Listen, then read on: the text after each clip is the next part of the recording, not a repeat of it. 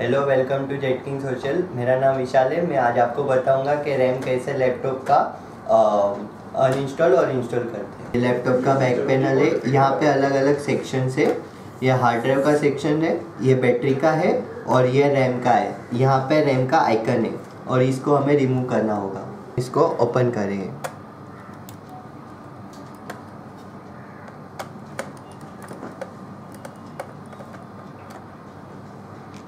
और यहाँ की दो, जो साइड में जो पिंस है, उसे ज़रा सा हमें बाहर की साइड पुश करना है। तो रैम बाहर आएगा। और इसे हल्के से हमें पीछे खींचना है।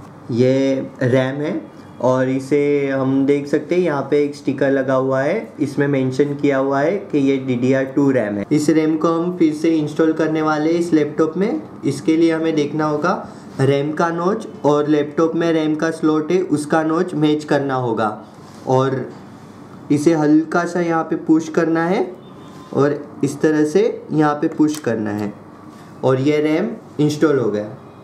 अब इस रैम को हमने इंस्टॉल कर दिया है और अब इसका सेक्शन है, उसको हमें बंद करना होगा।